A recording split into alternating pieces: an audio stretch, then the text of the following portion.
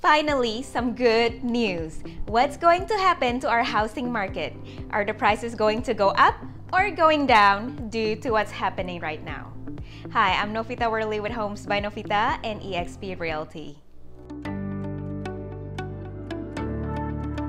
While total sales are down compared to last year, the month-over-month sales actually saw an increase by 22.3% from May to June 2020. This means our real estate market is steadily strengthening as the state reopens and we have a lot less restrictions.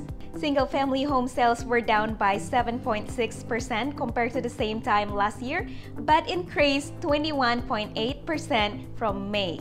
The median sales price for single-family home dropped by 3.8% to $770,000 compared to June last year.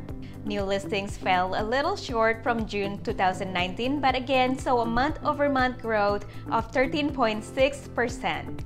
Condominium sales for June was down 34% as compared to the same time last year, but month-over-month sales activity saw an improvement with closed sales up 22.8%.